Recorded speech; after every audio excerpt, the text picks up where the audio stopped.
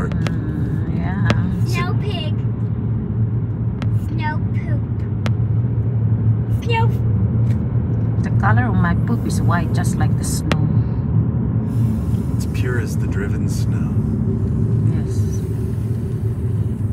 I'm actually kind of glad there's a little bit of traffic to keep the keep the speed reasonable.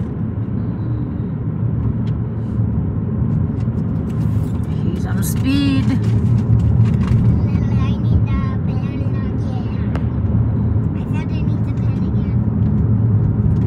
Again. Daisy, Yeah? not now. Why not? I'm busy. Mommy's uh, taking a video of our journey down the mountain. She wants to document all the The video accidents. doesn't matter, Mama. The only thing that matters is me. Me, me. Ah, stop it, far pig. Stop it. Stop it, fart pig. Stop it, pig butt. Stop it. Stop it. This guy Stop it, keeps crossing the line. I'm recording this uh, Stop guy, he keeps the way he's the driving. Stop. Probably female, Stop. Asian. What do you think? Pooping stink fart. Butt pig stink fart. Butt pig stink fart. Uy. Butt Ah, yeah. pig.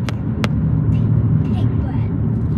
Pig butt. Pig butt. Pig butt. Oh, look at that! So Pig beautiful. That is Snow Valley Ski Resort. It's lower in elevation, but it's quicker and easier to get to. Hmm. When you have a lot of fresh snow, this is actually a better place to go. Okay, we'll come here, Daisy, okay?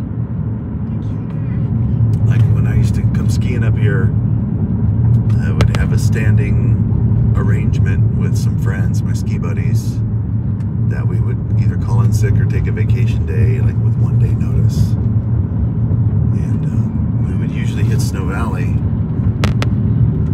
the day right after it snows, or the day after the day after it snows, because you want the roads to be plowed. So you meant two more days. Two days after the snow. Yeah, it all depends on the weather. Usually, the day after it snows, it's still a bit um, stormy. Right. But the day after that, it usually gets clear, and that's when the good skiing is. You have a clear day with a bunch of fresh snow during the week with a bunch of friends. Bunch of holes. When you're on it first thing in the morning, oh, so many times we skied. We were the first ones on the ski lift.